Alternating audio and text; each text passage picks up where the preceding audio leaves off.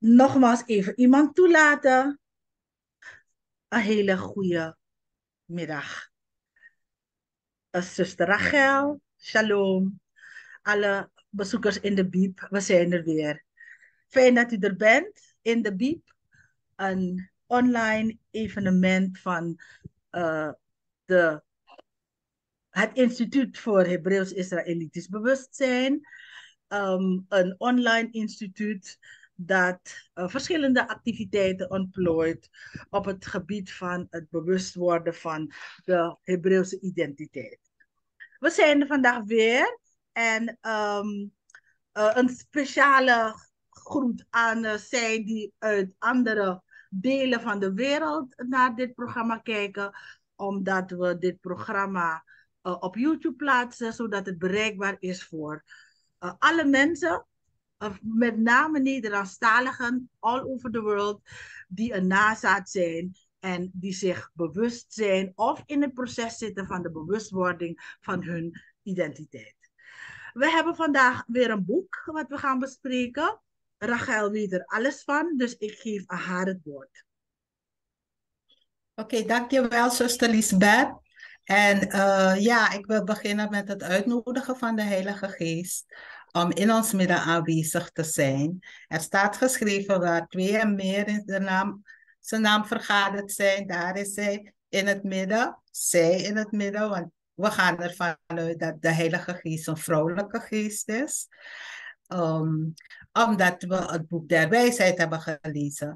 Vorige keer, vorige uh, in de Bib, dat was twee maanden geleden. We hebben eind december geen in de biep gehouden, maar eind november hebben we gesproken over de Heilige Geest. En uh, ik wees toen op het boek der wijsheid. En dus zo is het ontstaan van oké, laten we een volgende in de biep houden over uh, deze Heilige Geest, over het boek der wijsheid. Um, en vandaar dat we dus nu, na twee maanden, ik stel me voor dat jullie het gelezen hebben, daar, vandaar dat we dus nu, na twee maanden, uh, hier zitten om te praten over het boek der wijsheid. Uh, het boek is eigenlijk, je kan het in één dag uitlezen. Dus ik stel me voor dat jullie wel de tijd hebben genomen in die twee maanden, een dag of twee dagen om het te lezen. Nou, um, daar wil ik eigenlijk beginnen met. Um, ja, dus de, uh, de, uh, uh, het boek der wijsheid is een van de apocryf, is opgenomen in de apocryfe, apocryfe en in de Statenvertaling is het ook opgenomen, on, de Statenvertaling online. En het woord apocryf, zegt de Statenvertaling, komt uit het Grieks en het betekent verborgen. Met dus die apocryfe geschriften worden uh, religieuze teksten bedoeld die niet tot die officiële bijbelteksten gerekend worden, dus de kanon.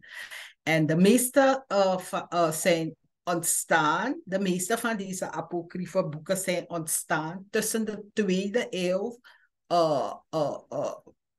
na Christus, voor en na Christus. En die term werd geïntroduceerd door Hieronymus. Dat was circa 342 tot 420. En, uh, uh, en hij bedoelde die boeken die wel opgenomen waren in de Griekse Septuaginta, maar niet in de Hebreeuwse Bijbel. Dus de apocryfen zijn voornamelijk in het Grieks geschreven of in het Grieks overgeleverd. En een aantal ervan zijn hoogstwaarschijnlijk oorspronkelijk in het Hebreeuws opgetekend. Maar doordat ze dus door die Joodse schriftgeleerden niet tot de Tanach, de Joodse Bijbel, werden gerekend, zijn veel van deze uh, oerversies verloren gegaan. Uh, uh, van Jezus Sirach we gaan ook een tekst lezen uit die Jezus is wel een Hebreeuwse versie uh, bewaard gebleven. Um, ja. De Heilige Geest is een reine geest. Eh, nee, laat me eerst vragen. Wie heeft het boek uh, der wijsheid gelezen?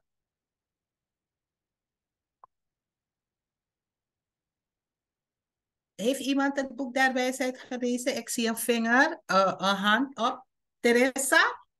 Elder, zuster Teresa, jij hebt het boek der wijsheid gelezen. Kan je even vertellen wat je hebt gelezen, wat je heeft geïntegreerd, wat, wat, je eruit hebt verstaan? Nou, goedemorgen, nee, goedemiddag uh, allemaal samen. Um, ook een prettige dag voor jullie, of aan jullie toegewenst. Uh, ik zet even mijn video niet aan, zodat je ziet, ik heb een dubbele bril op. Want ik kan niet zo goed lezen. Uh, met alleen, met één bril alleen kan ik niet goed lezen, dus ik moet multifocale glas hebben. Maar we zijn, we zijn nog niet daar, dat komt nog. Dus om goed te kunnen lezen, zet ik een dubbele bril, maar ik zie er een beetje ridiculous uit. Dus stop ik even mijn video, jullie horen me wel.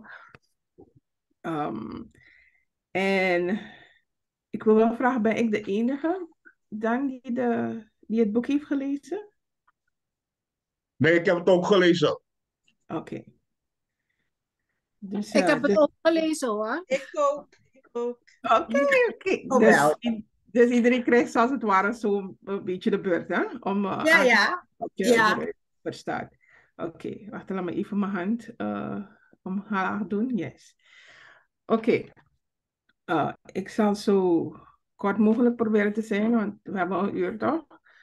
Um, bij het lezen, in ieder geval bij die vraag. Natuurlijk, ik kom ook uh, uit het christendom. En dus dan kan je je voorstellen dat als ik hoor, zoiets hoor, uh, dat geest, de geest van God vrolijk is, dan is dat tegen alles wat je is meegebracht. Dat, wat, wat je dan meegebracht is, is dat in ieder geval uh, God, God de Vader, God de Zoon, God de Heilige Geest, alle drie mannelijk zijn. Um, als je dan hoort Spirit of God, male or, male or female, neemt u me niet kwalijk als ik een heleboel Engels er doorheen praat, omdat ik uh, niet lees in het Engels, uh, in het Nederlands. Die Bijbel lees ik in het Engels, King James Version, omdat die dichter bij de oorspronkelijke vertaling is. Als ik die Nederlandse lees, dan sommige dingen kloppen niet met wat er staat of komen niet zo goed overeen met wat er staat in het Engels en nog minder met wat er staat in het Hebreeuws. Vandaar dat ik uh, mijn research meestal doe in het Engels. En uh, als ik dan zo denk aan, oké, als ik dan ging ik dan dus, dus mijn gedachtegang breng dan hier te werden, is dat ik dan terug ga naar de beginning. In the beginning, God, created Genesis 1 vers 27. Oh, u kunt het daar zelf opzoeken in het Nederlands. So God created man in his own image. In the image of God created he him. Male and female. He created, created he them. Ja, dus als ik dan weer kijk naar, uh, naar die zin, dan haal ik daaruit. Of, oh, en ik ga verder denk ik, zeg van oké, dus man en vrouw schiep hij hen. En dus dacht ik wel, ik zeg, volgens mij moet dan die man en die vrouw reeds daar aanwezig zijn geweest. En man en vrouw, uh, he created them and that is in his own image. Als dat dan in zijn own image is, is die vrouw dus ook deel, daarvan. Uh, en een fout die we niet moeten maken in mijn perceptie, is dat uh, toen de vrouw Eva is gemaakt, she shall be called woman. Because she was taken out of the man. Uh, en woman or betekent letterlijk uh, she-man of womb-man, man with a womb. Ja? Dat is woman. De geest is geen woman, maar het is, hoe het, female. Zoals een woord female, adjective, hoe het, iets female kan zijn, zoals het woord. Uh, ruach, dat is feminine, is een, vrouwelijk woord. voor spirit. In het, dat is in het Hebreeuws. In het Aramees is ruga ook een feminine woord voor spirit. Wel zie je dat in het Grieks betekent de spirit pneuma, dat is een neutraal woord. En in het Latijn, spiritus, is dan wel een mannelijk woord weer.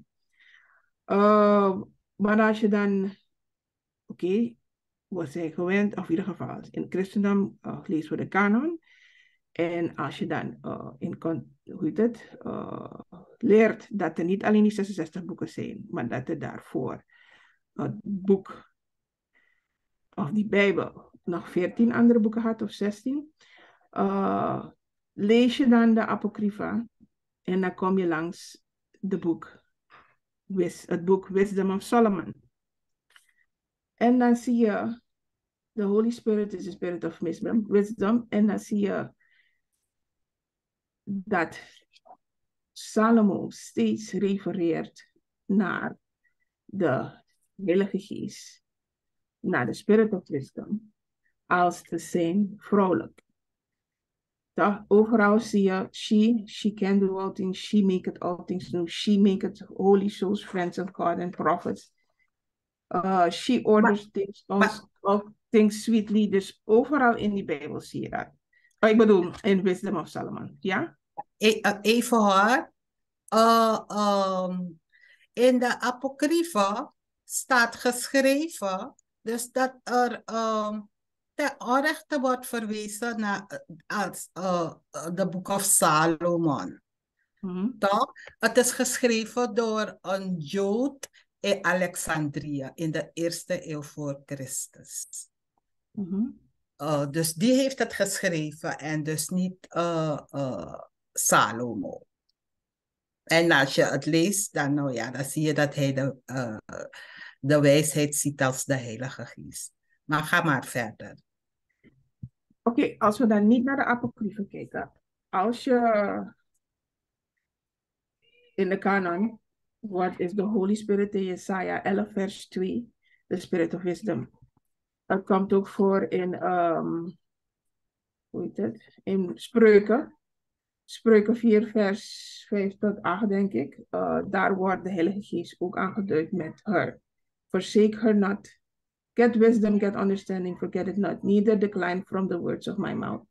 Forsake her not, and she shall preserve thee. Love her, and she shall keep thee. Exalt her, she shall promote thee. She shall bring thee honor when thou dost embrace her. Dus niet alleen in wisdom of Solomon wordt er gerefereerd naar de geest van wijsheid, de heilige geest, uh, als te zijn vrolijk, niet een vrouw, vrouwelijk, want een vrouw is mens. De Heilige Geest is geen mens. Uh, dus vandaar. Dat, en um, dus in mijn, uh, ieder geval, dus dat is dan waar, waar je dan kan zeggen van oké, de Heilige Geest is een, vrouwelijk, een vrouwelijke geest. Maar hoe dan ook, wat men dan ook gelooft, in mijn perceptie, uh, belangrijk is te weten dat de Heilige Geest een persoon is. Ja? Uh, want het is een persoon die. Uh, het zijn karakteristieken van een persoon die je ziet in de Deuterocanonieke, in de kanonieke boeken, in Spreuken, in Wisdom of uh, Solomon. En er is vrucht van de geest. Die vind je in Galaten 5, vers 22. Uh, want het zijn allemaal karakteristieken van een persoon liefde, blijdschap. De geest is langmoedig, is vriendelijk, is goed, is trouw, zachtmoedig, heeft zelfbeheersing. En dat geeft zij ook aan, uh, hoe het, aan de persoon als uh, zij woont in jou. Toch? En belangrijk is, uh, hoe het, dat ook niet te vergeten, dat de enige zonde die niet vergeven wordt, is de zonde de Heilige Geest. De God de Vader, God de Zoon zijn uh, very protective uh, voor, over de Heilige Geest. Ja, dus, dus daarom, om even, ik kun je niet onderbreken, of doe het wel, maar dus daarom um, zijn we wel een beetje voorzichtig als we praten over de Heilige Geest.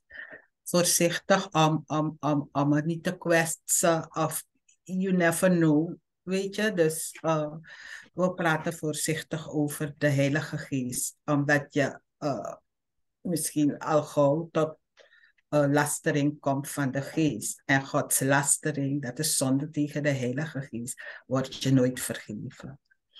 Je kan doorgaan.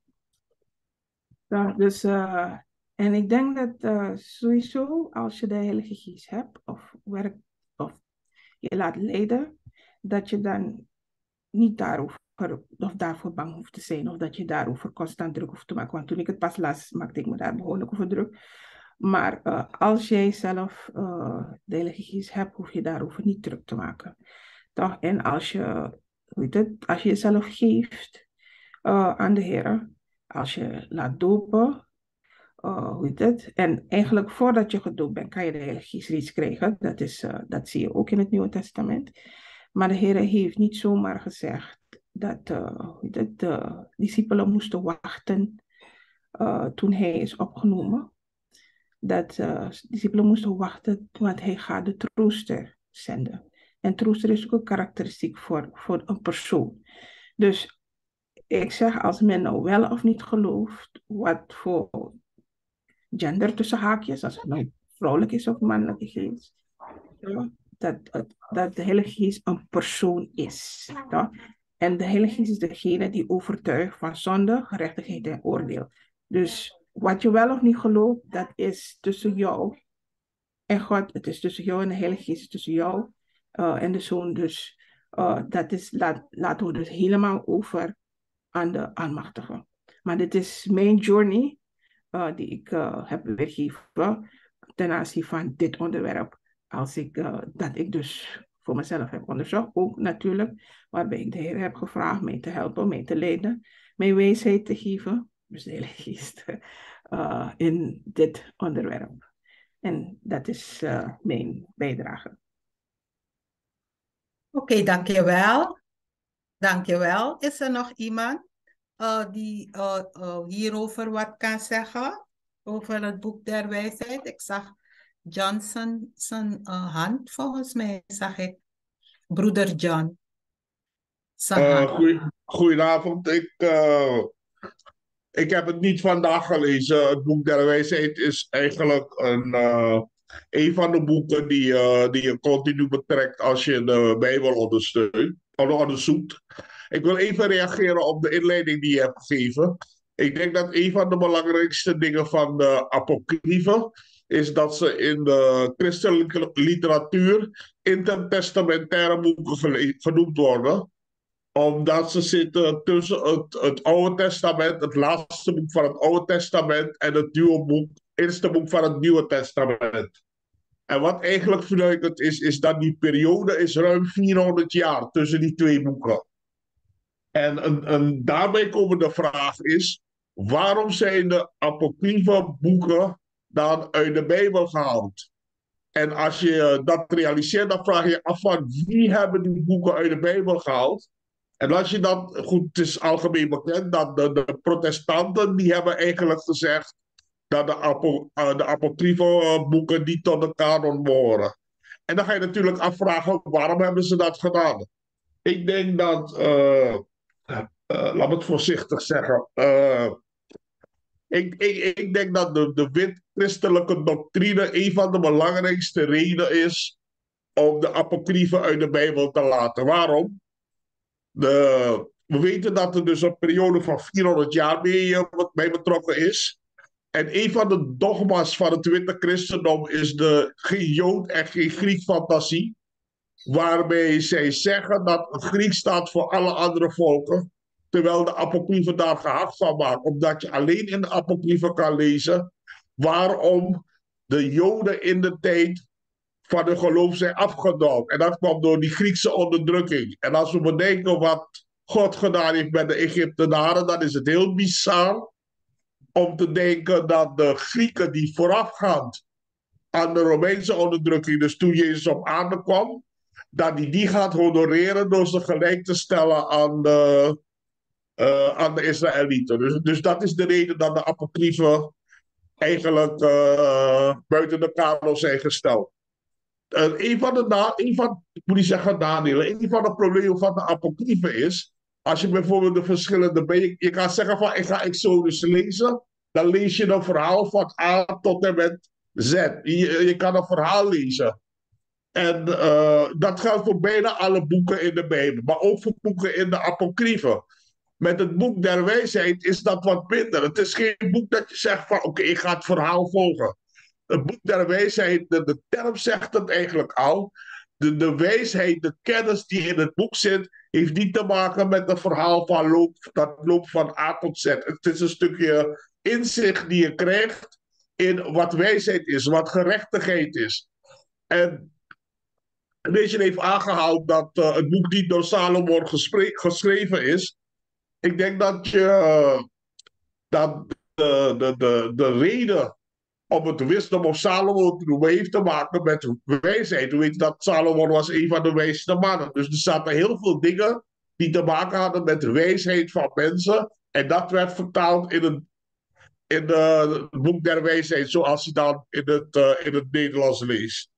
Ik, ik ben niet eens met Teresa dat, uh, dat, dat het om een persoon gaat. Ik denk dat het om een geest gaat. En ik denk dat uh, de Heilige Geest is niet een raar ding. De Heilige Geest is eigenlijk een spirit die je ontvangt als je de geboden bewaart. Dat je de Bijbel gaat begrijpen en ook Gods doel, reden, et cetera, et cetera, beter gaat, gaat begrijpen. Dat je een, uh, hoe moet je dat zeggen? Je krijgt een stukje rijpheid mee, waardoor je dingen gaat begrijpen. Het is een spirituele rijpheid uh, die je krijgt. En het staat ook in de King James, uh, in, in het Nieuwe Testament, dat de Heilige Geest een hij is. Maar ik, ik denk dat alle Israëlieten onderkennen in de tus, ondertussen dat de Heilige Geest geen vrouw is, maar een female geest, een vrouwelijke geest. In tegenstelling tot een mannelijke geest was de Heilige Geest een vrouwelijke geest. En dat heeft te maken met primaire vrouwelijke eigenschappen zoals koesteren, opvoeden, leiden, sturen. Dat soort elementen, dat zie je terug in iets wat typisch vrouwelijk is. Dat is uh, zoals ik er naar kijk. Maar het is heel belangrijk om te beseffen dat die Heilige Geest niet iets is wat je, wat je zomaar krijgt. Je moet er wat voor doen en je moet het onderhouden en je moet het stimuleren. En die Heilige Geest helpt jou om dingen te begrijpen. Die helpt jou om verder te komen in het onderzoeken en begrijpen van de, uh, van de geschriften. Uh, zo kijk ik ernaar. Oké. Okay. Dat was het. Ja, dank u wel, broeder uh, John. Teresa, ik zie jouw hand. Wil je wat zeggen? Ja, um, ik, ik zei inderdaad dat, uh, misschien heb ik het dan verkeerd verwoord, de Heilige Geest. Als te zijn persoon bedoel ik dat de Heilige Geest een persoonlijkheid heeft. Want ik heb het ook gezegd, uh, als we zeggen female, uh, bedoel ik niet dat de Heilige Geest een woman is. Dus geen mens, geen vlees, geen, geen flesh. Because a woman is a man with a womb. Ja, en dat heeft de Heilige Geest niet. Dus uh, ik bedoel te zeggen, als ik zeg persoon, bedoel ik te zeggen dat het, uh, de Heilige Geest een persoonlijkheid heeft, omdat die, die karakteristieken daar aanwezig zijn, zoals het leren, het nurturen, dus precies wat je hebt aangegeven. Uh, dat bedoel ik daarmee. Oké. Okay. Oké, okay, helder. En, uh, ik heb nog een punt, als ik even mag. Uh, er is net ook aangehaald de schepping, waarbij we in de Bijbel lezen, laat ons mensen maken naar onze image. En ik denk dat de tegenhanger daarvan, als je het scheppingsverhaal leest in Genesis 1, dan zie je dat alle levende wezens zijn in één keer gecreëerd. En uit die levende wezens zijn al de dieren gemaakt. Als je al die versen leest, al die dieren zijn gemaakt naar hun aard. Dus alle dieren zijn gemaakt naar hun aard. Alleen de mens is niet gemaakt naar de dieren. De mens is gemaakt naar Gods aard. Dat is dat onderscheid, dat is het vernuft. Dat is, het, oh, dat is hoe wij de dieren overstijgen. Wij overstijgen het niveau van de dieren doordat wij zijn gemaakt naar Gods aard, in hun image, in, in de image van mensen die kunnen beslissen, die keuzes kunnen maken, die, die over de dieren kunnen heersen, die van alles kunnen doen, waar dieren zijn gestopt met instinct. Die doen instinctmatig iets en wij kunnen keuzes maken om dingen te doen. Ik denk dat dat het onderscheid is tussen hoe dieren zijn gecreëerd en hoe mensen zijn gecreëerd. Ayo. Ja, oké. Okay. Is er nog iemand anders die gelezen heeft? Ingrid? uh, uh, uh, zuster Ingrid, u zei dat u het ook gelezen heeft. Ja, ik heb wel gelezen, maar ik heb dus het, wat ik heb gelezen en wat ik heb begrepen, dat wisdom is a loving spirit. En ik hoorde dat, dat ik begreep van Teresa, dat het hetzelfde was als de Heilige Geest. Dat heb ik begrepen. Ik weet niet of ik het goed heb begrepen. Um, verder heb ik wat ik heb gelezen en begrepen, dat gerechtigheid verkregen wordt. Dat gerechtigheid is wat God gerechtigd vindt. En dat is uh, zijn heilige boeken die in Exodus 20, vers 1 tot 17 staan. Dat de, zijn de tien geboden. Als je je dus uh, daaraan houdt dat het dan zijn gerechtigheid is. Dat heb ik begrepen hoor. Um, en dat er daarvoor is discipline nodig. En die discipline, uh, dat is de, een vorm van liefde die je dan geeft aan de Most High. Zo heb ik dat begrepen hoor. Ja. Nou, ik denk dat het toch wel uh, goed begrepen is of zo. Oké. Weet je? Maar uh, ja, dus de Heilige Geest is een reine geest. Ze komt niet waar onreinheid is. Het is een gevoelige geest. Ze is een persoonlijkheid. Ze is de geest der waarheid. Ze onderwijst, ze troost. Net zoals er gezegd wordt, werd aan de karakter. Eigenlijk kan je zien dat het een vrouwelijke geest is. Volgens mij had broeder John dat gezegd. Uh, zij overtuigt van zonde, gerechtigheid en oordeel. En zondigen tegen de Heilige Geest wordt je nooit vergeven. Het is uh, uh, eigenlijk zonder die Heilige Geest kan je de Vader niet behagen. Je kan hem niet dienen zonder die Heilige Geest. En het is dezelfde Geest die in Christus was. Hij zei in Handelingen 1, zoals zuster Teresa dat had aangegeven, dat hij weg moet gaan. Want met zijn lichaam kan hij niet bij iedereen zijn, maar met zijn geest wel. Hij gaat weg en hij gaat de trooster sturen. En dat zei hij van de geest, van de Heilige Geest. Hij noemde daar de Heilige Geest de trooster. Um, het is een gevoelige geest en, en, en ze komt niet zomaar in je. Toch? Je moet er uitnodigen om eer te komen. En, en, en, en voordat ze in je komt, gaat ze je helemaal reinigen. Reinigen van binnen. Want soms kunnen behalve jouw geest ook andere geesten zijn in je lichaam. En die geesten moeten wel uit je lichaam. Jouw geest is in je lichaam, maar dan zijn er ook nog onreinig, kunnen onreine geesten zijn in je lichaam. En die onreine geesten moeten eerst uit je lichaam zijn, voordat zij komt in je lichaam. Want ze is een reine geest. Weet je?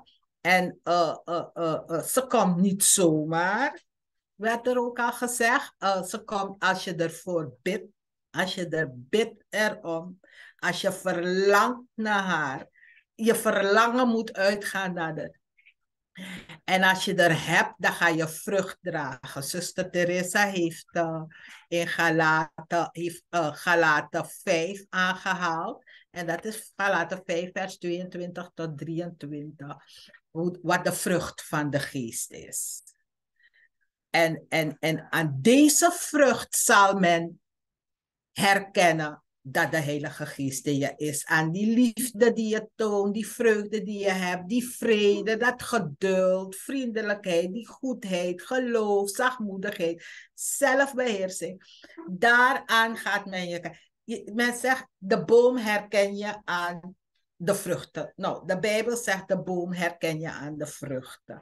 En aan die, aan die vrucht de vrucht van de Heilige Geest gaat men herkennen dat uh, ja, de Heilige Geest uh, in, in, in je is. En dus dan uh, zijn er bepaalde teksten waaruit je dus duidelijk kan halen dat het een vrouwelijke geest is en wat het karakter is. Misschien moeten we op aantal of een paar van die teksten lezen. En dan wil ik dus Wisdom of Salomon lezen, vers, uh, uh, hoofdstuk 1, vers 4 tot 6. Uh, als, als, als, als dat op... Nogmaals, alsjeblieft. Nogmaals, alsjeblieft. Hoofdstuk 1, vers 4 tot 6. Wisdom of Salomon. Hoofdstuk 1. Hoofdstuk 1, vers 4 tot 6. Wisdom of Salomon. Dan kan je direct lezen, uh, Lis, uh, zuster Lisbeth. Vers 4 tot 6. Vers 4 tot 6. Tot, met, tot en met 6, ja. Doe ik volgaande. Want wijsheid zal niet komen in een ziel die met kwade ranken omgaat. En zal niet wonen in een lichaam aan zonden verplicht. Want de Heilige Geest der onderwijzing vliet de bedriegerij, wijkt af van de gedachten der onverstandigheden en bestraft hen. Als de ongerecht, als de ongerechtigheid daarbij komt. Want de wijsheid is een menslievende geest. Doch zal niet onschuldig houden diegene die met zijn lippen lastert. Want God is een getuige zijn nieren en een waarachtige opmerker zijn harten en een aanhoorder zijn tong. Ja, dus en, en, en, en, en uh, uh, Wisdom of Salomon, dus het boek der wijsheid, vers 6. Die persoon die het heeft geschreven was, had heel veel ontzag over de Heilige Geest. Hè? Hij had ontzag voor haar en, en je ziet, hij verlangde naar haar, hij wilde er graag hebben. Volgens mij wilde hij er zelf hebben als vrouw of zo, als je het zo leest. Maar uh, ja, hij, hij, hij, was, hij, hij praat heel goed over de. Teresa, je had een vraag? Zuster Teresa? Of ja, je, hoeft, je, hoefde, je, je hoefde jouw uh, relatie niet te onderbreken hoor. Ik wilde alleen aanvullen. Uh, omdat hetgene wat uh, je zo net aanhaalde, het meest opvallende ik dat het meest opvallende vond bij het lezen van Book of Solomon. En dat is het stukje van waar hij, ik heb het opgezocht in het Nederlands, uh, waarbij Salomo, als je het leest, zegt hij, zij rijk van het ene einde, dat is Boek der Wijsheid 8. Zij rijk van het ene einde tot het andere einde en regeert alle dingen nuttig. Deze heb ik lief gehad en uitgezocht van mijn jonkheid aan en haar gezocht voor mij te nemen tot een bruid en ben geworden een liefhebber van haar schoonheid. Ik denk dat je naar dit stuk uh, refereert. Ja, ja, inderdaad. Ik zat het uh, door elkaar te halen. Dank voor de aanvulling. Uh, zuster Lisbeth, kan je naar hoofdstuk 6 gaan? Vers 12 tot 20. is wel een beetje lang. Dus misschien dat we dan niet alles gaan Nogmaals, alsjeblieft. Uh, nogmaals. Hoofdstuk 6. Hoofdstuk 6. Mm -hmm. Vers 12. 12. Blinkende en onverwerkelijk is de wijsheid. En wordt licht gezien door degenen die haar lief hebben. En gevonden door die haar zoeken. Zij voorkomt degenen die haar begeren om tevoren gekend te worden. Die vroeg des morgens tot haar zal gekomen zijn, zal geen moeite hebben, want hij zal haar bij zijn poorten vinden zitten. Want aan haar te gedenken. Even een moment hoor, moment. Oké, nee, ga verder. Ik zal straks uh, reageren. Tot ga waar verder. mag ik lezen? Tot waar? Ik kan tot 20 lezen. Want aan haar te gedenken is de volkomenheid der kloekheid. En die om haar om hartewil waakt, zal haast zonder zorg zijn. Want zij gaat rondomheen, zoekende degene die haar waardig zijn. En op de paden verschijnt zij hun vriendelijk en ontmoet hen met alle opmerking. Want haar beginsel is de ware begeerte der onderwijzing en de bezorging van onderwezen te worden in liefde is liefde. En de bezorging van onderwezen te worden is liefde. En de liefde is de onderhouding van haar wetten. En de onderhouding der wetten is verzekering der onverderfelijkheid. En de onverderfelijkheid maakt dat men nabij God is. Want zelfs de begeerte der wijsheid brengt tot het koninkrijk. Ja, dus oké. En uh, uh, uh, in vers 14 staat, die vroeg des morgens tot haar zal gekomen zijn. Dus daar zie je van hoe belangrijk het is om vroegsmorgens te bidden. Toch? Vele mensen zeggen van ja, vroeg in de ochtend en, en, en, en, soms schrik je wakker of je wordt wakker op drie uur in de ochtend en zo. Je bent klaar wakker, je weet niet waarom. Nou, je wordt wakker geschud om te bidden. Toch? En dan kom je vroeg des morgens tot haar. En uh, uh, uh, ja.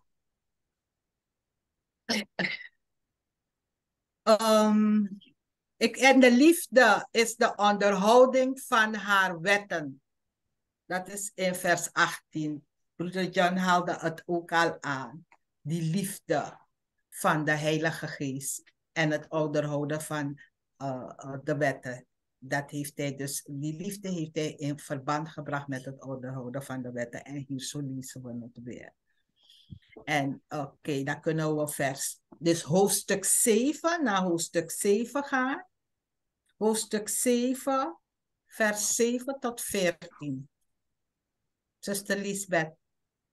Ja, hoofdstuk wel. 7. Mm -hmm. Nogmaals, hoofdstuk 7. Vers uh, 7 tot 14. 7 tot 14. Daarom bad ik, en mij werd verstand gegeven. Ik riep aan, en de geest der wijsheid kwam tot mij. Zie je, het moment hoor, zie je dat je daarin staat ook aangegeven dat je er moet aanroepen. Je moet bidden om de Heilige Geest. En dan kan ze, gaat ze bij je komen. Je moet er aanroepen, je moet bidden, dan gaat ze bij je komen. Je kan verder gaan. Ik hield meer van haar dan van scepter en tronen. En rijkdom acht ik niets in vergelijking met haar. Ik verleek, ik vergeleek geen iedere steen met bij haar. Want al het goud ten aanzien van haar is als een weinig zand. En zilver is als slijk tegen haar te rekenen. Boven gezondheid en schone gestalte heb ik haar bemind. En heb ik haar verkoren om te hebben tot een licht. Want de glans uit haar wordt niet uitgeblust. En allerlei goed kwam tot mij met haar. En ontelbare rijkdom door haar handen. En ik was verheugd in alle dingen. Want de wijsheid ging daarin voor. En ik wist niet dat zij van deze dingen voortilster was. Zonder erg heb ik geleerd. En zonder afgunst deel ik mede. Haar rijkdom verberg ik niet. Zij is de mensen een schat die niet afneemt. die haar gebruiken verkrijgen vriendschap bij God en zijn aangenaam wo- geworden om de gaven die uit de onderwijzing voortkomen. Ja, dan kan je verder gaan. 21 en 22. Ik heb kennis van alle, beide van verborgen en openbare dingen. Want de wijsheid, die van alle dingen een kunstenares is, heeft ze mij geleerd. Want in haar is een geest die verstandig is, heilig, enig, menigvuldig, fijn, vaardig, rein, onbesmet, klaar, zacht, beminnende het goed, scherp, die niet kan verhinderd worden, weldadig, Ja, dat is, dat, ja tot, tot, tot daar. Dat is dus duidelijk. Het is een deel van haar karakter. Wordt daar beschreven hoe ze is. Wat ze is.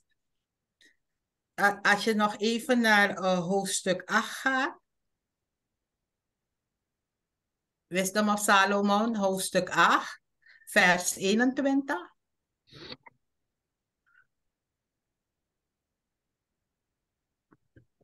En verstaande dat ik haar anders niet machtig zou worden, indien God haar mij niet gaf. En dat was ook, en dat was ook kloekheid, te weten van wie die genade komt. Zo ging ik tot de Heere en bad hem en sprak uit geheel mijn hart. Ja, is weer dus duidelijk dat eh, je moet bidden om de Heilige Geest. En dat God je geeft, de zijn geest. Hij geeft je de Heilige Geest. En als je nog naar even, nog, eh, we gaan niet allemaal behandelen. Ehm, hoofdstuk 9 is het laatste hoofdstuk waarnaar ik wil verwijzen.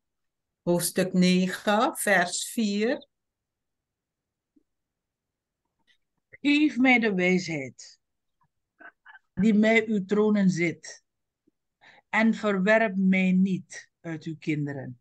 Daar zie je weer, weet je, hoe eh, de schrijver vraagt naar wijsheid. Geef mij de wijsheid. En eh, eh, van 9, je kan doorgaan van 9 tot 11. Bij u is de wijsheid die uw werken weet en tegenwoordig is. Toen gij de toen en tegenwoordig was. Toen gij de wereld maakte en verstaat wat aangenaam is in uw ogen. en Maar even hoor, in uw moment, moment. Teresa haalde Genesis aan, Genesis 1, van laat ons mensen maken. Die ons daar, laat ons mensen maken, verwijst dus naar de Heilige Geest en naar Christus, want die was er ook van het begin. Zonder hem is geen ding geworden, zegt de Bijbel. En in Genesis 1 al, eh, of volgens mij 2, lees je, de geest Gods zweefde over de wateren. Dus ze was al daar.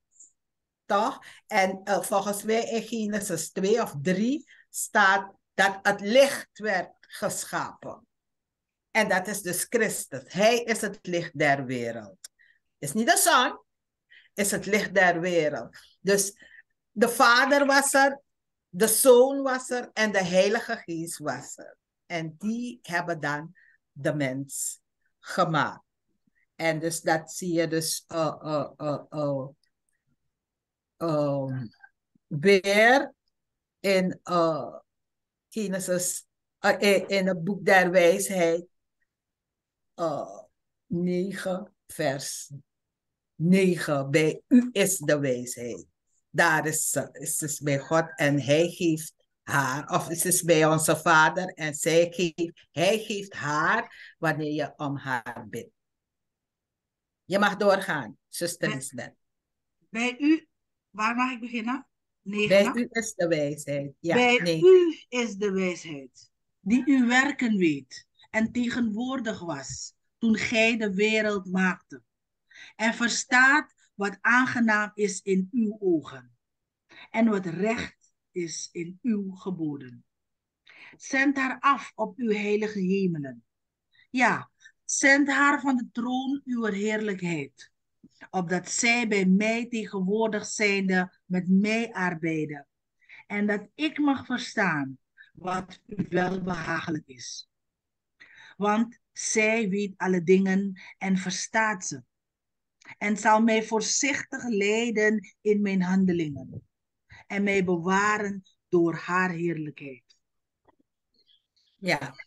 Oké, dus dat is het boek van het boek der wijsheid, waar ik er is nog veel meer hoor, er is nog veel meer, maar het gaat te lang duren om op al die teksten te wijzen. We hebben het allemaal gelezen, dat boek der wijsheid. En uh, de teksten zijn dus als het ware bekend voor degene die het gelezen heeft. Maar ik wil dus dan ook weer eventjes gaan naar uh, Ecclesiasticus. Dat is uh, Jezus Sirach, want die praat ook over de uh, apocryfe, zuster uh, Lisbeth. Sirach. Jezus Sirach, Ecclesiasticus. No? Ja. Ja.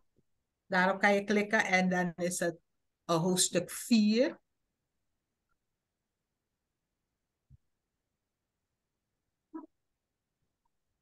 vers 12 tot 15.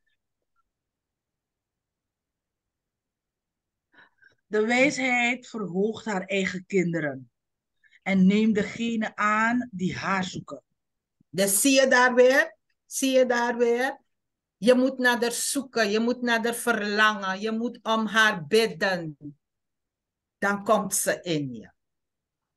Als ze je, nadat ze je heeft uh, schoongemaakt of gereinigd van binnen. Ga verder. Wie haar lief heeft, die heeft het leven lief. En die zich vroeg opmaken tot haar. Kijk het, met... weer, kijk, het staat weer daar. Wie zich vroeg opmaken tot haar. Dus volgens mij is het belangrijk om in de ochtend te bidden. Oké, okay, ga verder.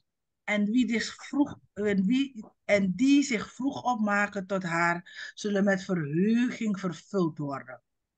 Die haar vasthoudt, zal eer beërven. En waar zij ingaat, die zal de Heere zegenen. Die haar dienen, die zullen de Heilige dienen.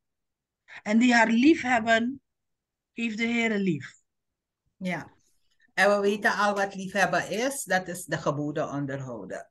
Dat zegt hij in zijn woord. Degenen die mijn geboden onderhouden, zijn degenen die mij waarlijk liefhebben.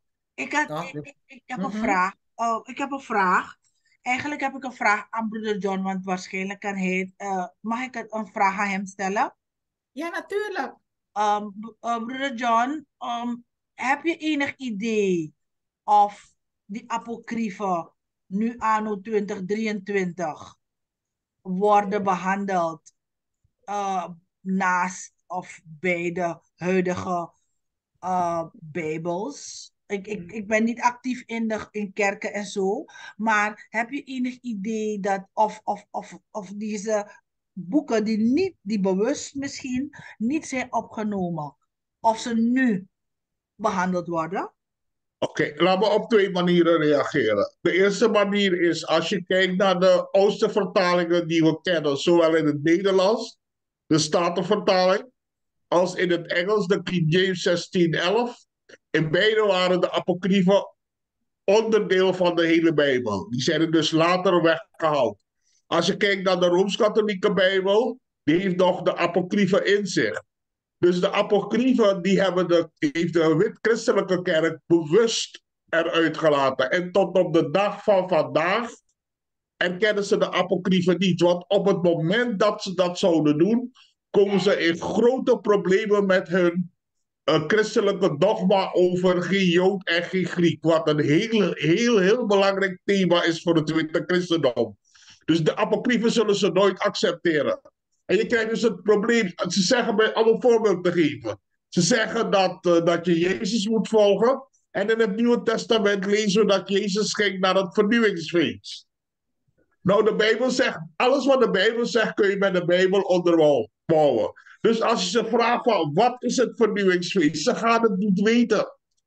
Christenen weten niet eens dat de Israëlieten 400 jaar onder Griekse ballingschap zijn geweest, omdat hun dat niet verteld wordt. Maar meer algemeen, christendom vertelt iets over de Bijbel, maar gebruikt de Bijbel niet. Dus uh, er is geen enkele reden voor de christelijke kerk om de apocryfen te adopteren. Het, het, is eigenlijk een bom zetten onder je eigen reet, om het maar heel plat te zeggen. Ze blazen hunzelf op als ze dat zouden doen. Onder de Hebrew Israelites, onder de HI's, is de apocryfe vanaf het begin een wezenlijk onderdeel. Wij maken in onze studies maken we geen onderscheid tussen Oude Testament, Nieuwe Testament en apocryfe. We zien het als één boek. De Bijbel zegt, ik kom in de volume van een boekrol. Dus alles hoort bij elkaar, alles gebruiken we.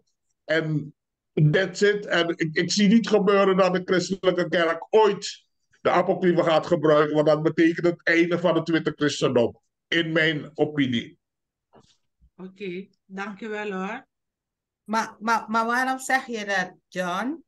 Waarom is dat het einde voor het christendom of zo? Als ze de Om, omdat een van de belangrijkste facetten van het witte christendom is de geen Jood en geen Griek dogma. En alleen in het apocryfe kun je dus lezen over de Griekse ballingschap, waarbij Joden verboden was om hun geloof te uiten, omdat als ze betrapt werden, konden ze vermoord worden. De Griek in het Nieuwe Testament is niet iemand van een ander volk. Daarom heet het ook Hellenisten. Dat zijn de Joden die onder druk van die Griekse ballingschap hun geloof hadden afgezworen. En dat zijn nooit andere volken geweest. Dus op het moment dat ze de apocryfe adopteren, dan moeten ze die leugen gaan herroepen. En ze kunnen alles doen, want ze hebben heel lang verkocht dat Jezus een witte man was met blond haar en blauwe ogen. En nu zal iedere christen zeggen, maakt niet uit. Dat er eeuwenlang gelogen is, dat, dat, dat telt dat niet. En nu gaan ze zeggen, ja, maakt niet uit wat, hoe hij eruit zag.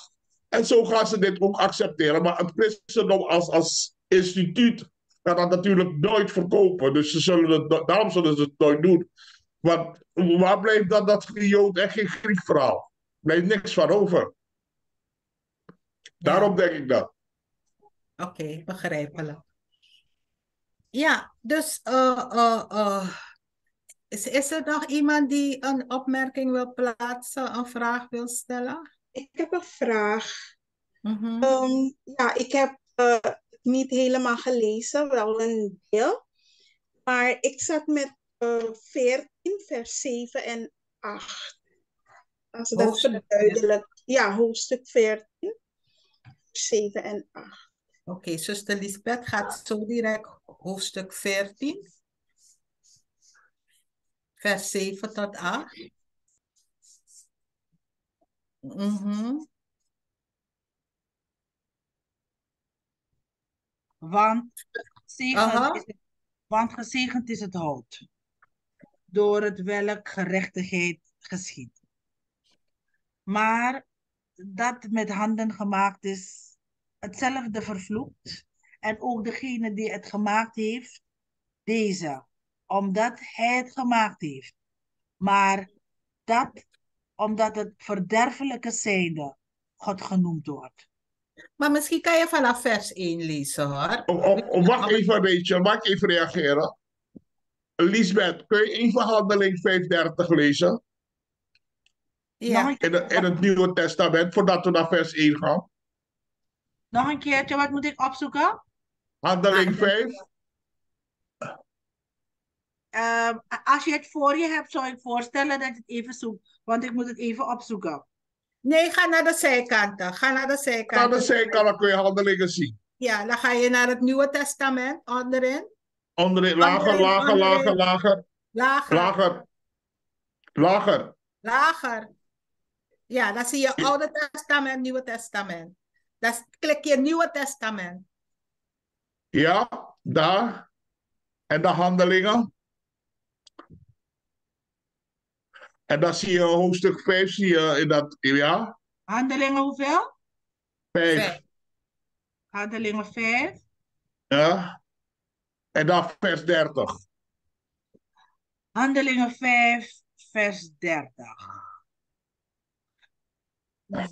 De God, onze Vader, heeft Jezus opgewekt, welke gij omgebracht hebt, hangende hem aan het hoofd. Ja, nog, nog, nog, nog, nog iets? Deze heeft God door zijn rechterhand verhoogd tot een vorst en zaligmaker, om Israël te geven bekering en vergeving der zonden. Okay, dus als we, in dat, als we even kijken dat we het net in de, in, in de wisdom hadden over het hout, daar refereert dit aan. Dus dit vers refereert daaraan.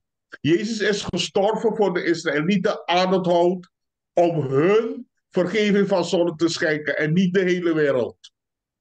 Dat is de essentie van wat we net gelezen hebben in uh, Boek der Wijsheid. Kun je even aangeven welke het was? Uh... Ja.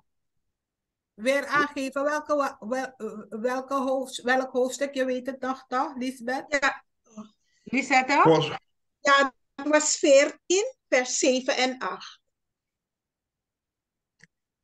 Vers 7 en 8. Want gezegend is het hout dat het welk gerechtigheid geschiet. Dus maar... hier zien we gezegend het hoop door welk gerechtigheid is geschied. We hebben gerechtigheid gekregen doordat God zijn zoon gestuurd heeft om te sterven voor de Israëlieten, zodat ze die vergeving van zonde kregen. En niet voor de hele wereld. En dat is de gerechtigheid die geschied is aan het hout. FSA? maar dat met handen gemaakt is, hetzelfde is vervloekt. En ook degene die het gemaakt heeft, deze, omdat hij het gemaakt heeft, maar dat omdat het verderfelijke zijnde God genoemd wordt. Amen. Ja, dus je hebt mensen die uh, uh, ja, beelden maken, toch? Van hout en zo. Nou, dat beeld is vervloekt. En ook degene die dat beeld gemaakt heeft schijnt daar geschreven te zijn. Oké. Okay. Oh, Lisetta, is je vraag beantwoord? Ja. ja, het is beantwoord. Zeker 8 is dan uh, duidelijk. Ja. Yes? Dat is beantwoord, dank u wel. Oké. Okay. Yes. Zijn er meerdere vragen, opmerkingen, verduidelijkingen? Mag ik even een vers lezen om, om, om uh, een punt te zetten achter vers 8? Ik lees daar even Deuteronomium, uh, wat is het? Deuteronomium 21, vers 23. Zo zal. E Oude Testament. Ja. Welke Zo vers? zal zijn dood lichaam aan een moment, hout. Moment, ik, ik, moment. Oh. Wel, welk, welke, welk hoofdstuk? Deuteronomium 21. vers? 23. Mm -hmm. Nou, als het even kan lezen, dan hebben ze één stem. Zo zal zijn doodlichaam aan het hout niet overnachten. Maar gij zult het zekerlijk tenzelfde dagen begraven. Want een opgehangene is een goede, een vloek. Want een opgehangene is gode een vloek. Alzo zult gij uw land niet verontreinigen, dat u de Heere, uw God, ten erve geeft. En dit zien we weer bij de kruisiging van Jezus. Toen hij gekruisigd was, er kwam een Sabbat aan en hij mocht niet aan het kruis blijven hangen op de Sabbat, omdat je dan het land vervloekt.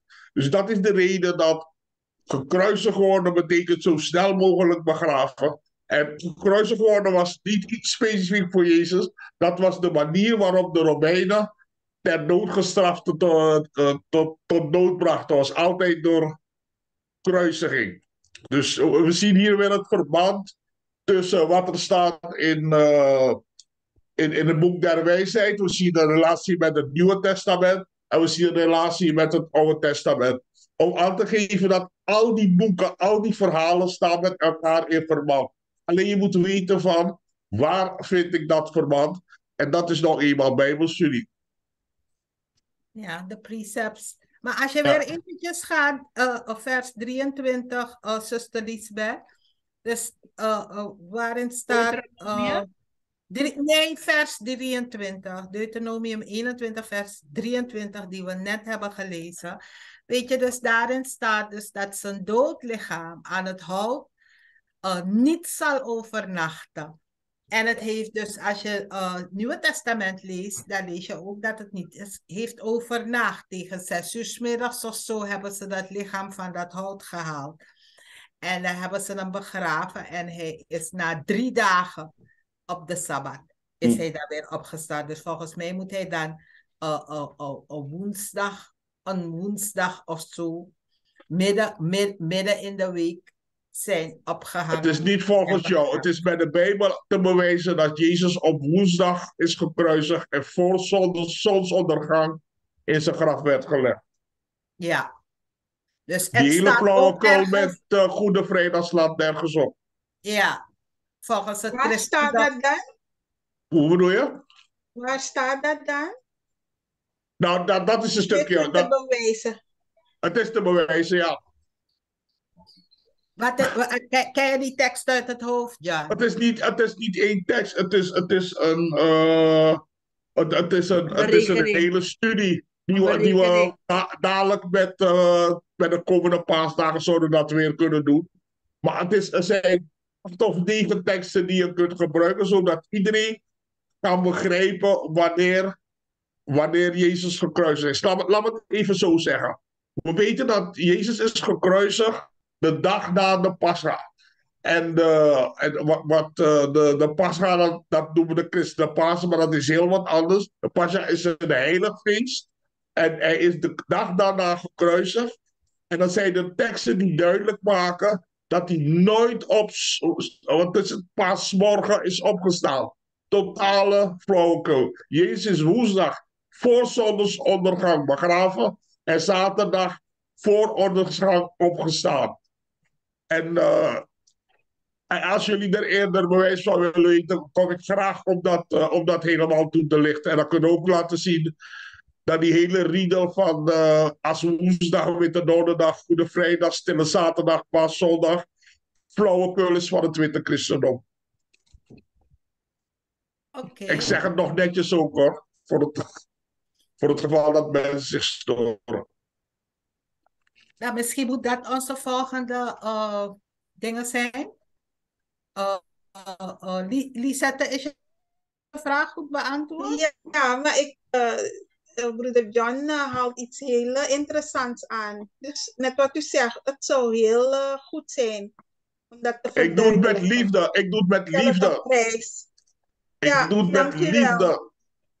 Thank you. Ik heb die teksten snel opgezocht. Um, uh, waar, waar wordt aangegeven wanneer hij is weggehaald van het kruis. En dat is in, dat, je ziet het in Matthäus. Het is inderdaad, zoals John zegt, het is niet maar één tekst. Het zijn verschillende teksten. En je ziet het in Matthäus 27, je ziet het in Mar uh, Marcus 15, de, zus, zuster 23. Moment, zuster en, uh, kan je even naar die tekst gaan van Matthäus? Jazeker. Oké. Okay. Ja, oké, okay, dat is één. Is in het uh, Nieuwe Testament. Matthäus 27. Ja. Matthäus. Matthäus. Zeven, nogmaals, 27? Matthäus 27, vers 57 tot 60. Dus dat hij dezelfde avond nog weg is gehaald, toch? Want dat was de, dat was de issue, eerste issue, toch? Dat is één, één issue. Dat ja, is één issue, ja. ja. dat is dat, dat Ah. Daarom was het begonnen. Ja, maar het is inderdaad een hele Bijbelstudie hoor. Ja. Want er is ook ja. een tekst dat zegt dat ja. hij in het midden van de week zo, nog, zo alle offers ophouden. En, en, en de, en. Dat is Jeremia of Jesaja. Nee, maar even voordat, voordat we dat doen. Ik denk dat het belangrijk is om te beseffen dat als je gaat kijken over wanneer Jezus zo'n kruisig is en opgestaan is, dat je dat niet, niet doet met één boek of met één vers. We hebben vier evangeliën en die vier evangeliën bij elkaar vertellen een verhaal waar je geen spel tussen krijgt. Dus, dus één tekst kan één onderdeel aangeven, maar je kan met één tekst kun je niet bewijzen dat hij op woensdag gestorven, gekruisigd is en op woensdag in het graf gelegd is en op zaterdag voor zonsondergang is opgestaan. Dat kan je niet met één tekst. Ja, maar Jan, maar het is gewoon een rekensommetje. Als er wordt aangegeven dat hij drie dagen en drie nachten in het graf is geweest, dan kan je niet vrijdag zijn gestorven en zondag zijn opgestaan. Weet je hoeveel miljoenen mensen, weet je hoeveel miljoenen mensen met je gaan vechten als je dit zegt? Want ze Oh, zeggen vrijdag. Rekening. Ja, nee. Ga Christen uitleggen dat Jezus niet op zondagmorgen is opgestaan. Een heel groot probleem. Die mensen gaan al eeuwen gaan ze zondagmorgen pas, zondag gaan ze naar de begrafenis om de opstanding te herdenken. Ja, maar zondag was hij al opgestaan, toch? Dat staat er ook geschreven. Toen ze gingen, was hij al niet meer in het graf. En daar, daar zit, ja, oh, dan gaan we dus over die. Dus, kijk, die tekst zegt dat Maria Magdala en die anderen die gingen vroeg 's morgens gingen zij op weg naar het graf. Ja. Maar dat zegt niet dat die vroeg 's ochtends is opgestaan. Is Daar, opgestaan. daar, begint, daar begint dat verhaal. Want als ze in, in, in, eh, o- in de Kortaweg, derde rijweg eh, eh, wonen. En ja, je had geen wilde bus en taxis en vliegtuigen. En ze moesten lopen naar Sanderij. Dan kunnen ze wel vroeg morgens vertrekken. Ze komen niet vroeg ochtends aan. Dus laat, eh, met permissie zou ik, eh, zou ik de volgende in de biep of eh, in de sabbat zou ik willen bewijzen dat als woensdag, witte donderdag, goede vrijdag, stille zaterdag, paaszondag, dat flauwekul is van het witte christendom. Oké. Maar Teresa, naar welke vers uh, verwees jij? Naar welke Bijbeltekst verwees jij, Matthäus? Het was, maar uh, Lisbeth had het al, toch? Matthäus 27. Welke vers? Volgens mij vers 57 tot 60. Als je het even leest. Mijn persoon? Ja, ja, Ik heb ja. het in het Engels. Ik heb het in het Engels. Maakt niet uit. Ja. Zal ik het lezen? Ja. Ja, in het Nederlands. Ja, ik liever in het Nederlands. Vers Mhm. 57. Ja. Ja. Vers 57. En als het avond geworden was, kwam een rijk man van Ar Arimathea, met name Jozef, die ook zelf een discipel van Jezus was. Deze kwam tot Pilatus en begeerde het lichaam van Jezus. Toen beval Pilatus dat, dat het lichaam gegeven zou worden. En Jozef, het lichaam nemende, wond hetzelfde in zuiver fijn. En leidde, en eh, leidde dat in zijn nieuwe graf, het welk hij in het steenhorst uitgehouden had, en een grote steen tegen de deur des graf gewenteld hebbende, ging hij weg.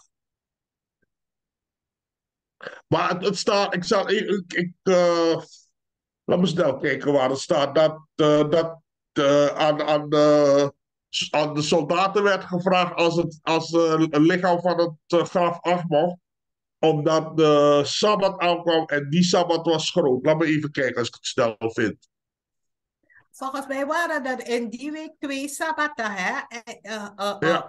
Je had een hoge, soms zijn er twee sabbatten, een hoge sabbat. Ja, je had, het, het begon na, na de, na de Pascha was het feest van de ongezuurde broden. En het, de eerste dag van de ongezuurde broden is ook een heilige Sabbat. Ja. Vandaar, ja.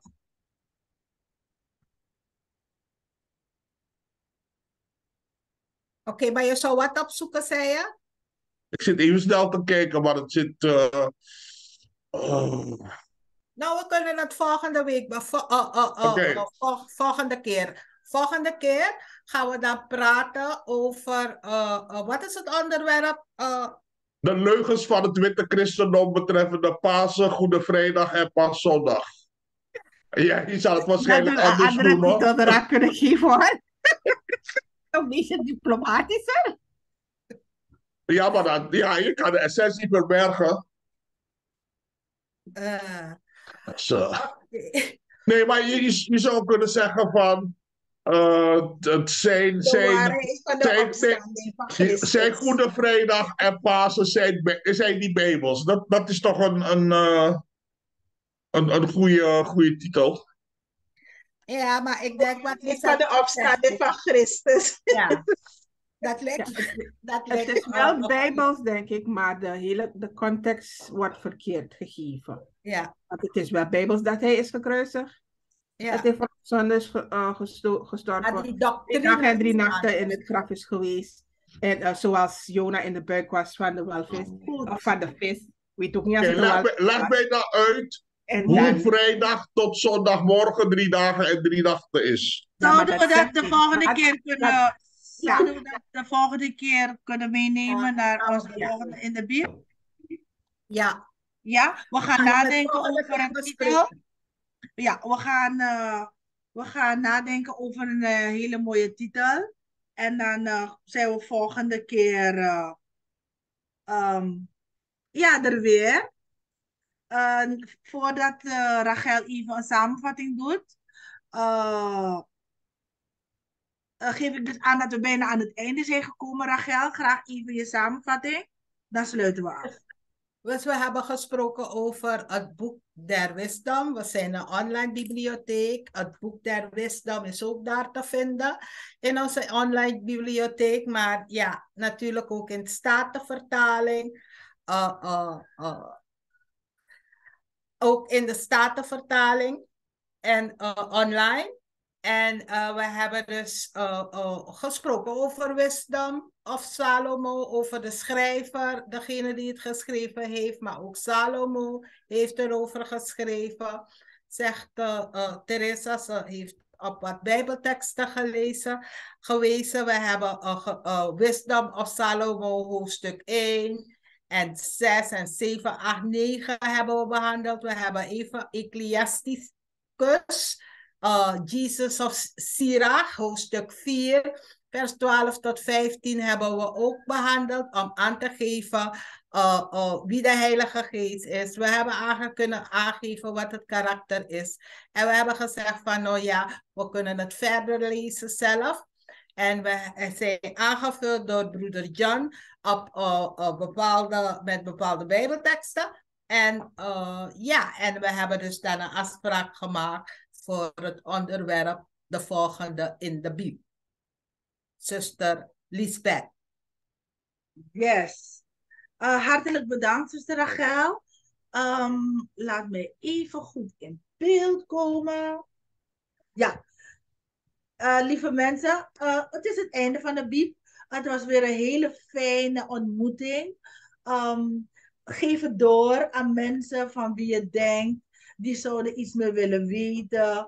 Uh, nodig ze uit om de BIEB te bezoeken, maar ik nodig ze ook uit om ons instituut te bezoeken. En dat doe je door op onze website te gaan, www.israelitisch.instituut.com en, um, en dan vind je alle informatie ook over onze evenementen. we zijn op YouTube, subscribe, dus abonneer, zorg dat je um, uh, like. aanvinkt, liked. En, uh, en iedereen, dit, we zijn er gewoon voor iedereen die belangstelling heeft. Alle Nederlandstaligen die um, wat kennis zouden willen opdoen, informatie willen delen, informatie zoeken, zijn altijd van harte welkom. Ik dank jullie heel hartelijk voor jullie aanwezigheid in de bibliotheek. En uh, zeg tot een volgende keer. Goeiedag. Okay, goeiedag. Tot de volgende keer. Dag iedereen. Tot de volgende keer.